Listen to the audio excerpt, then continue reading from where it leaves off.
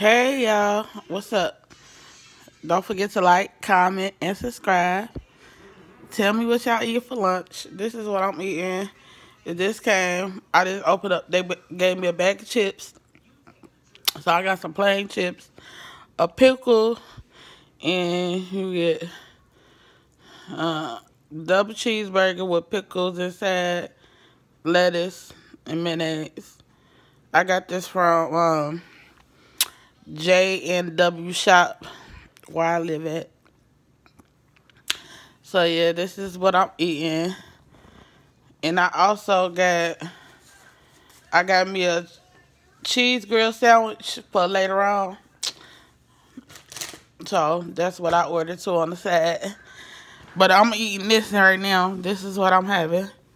What y'all eating for lunch? They got some chips. Y'all want some chips?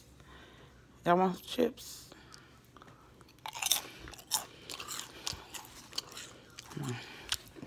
It just came. Mm -hmm. I got me a Coca-Cola on the side. Yep.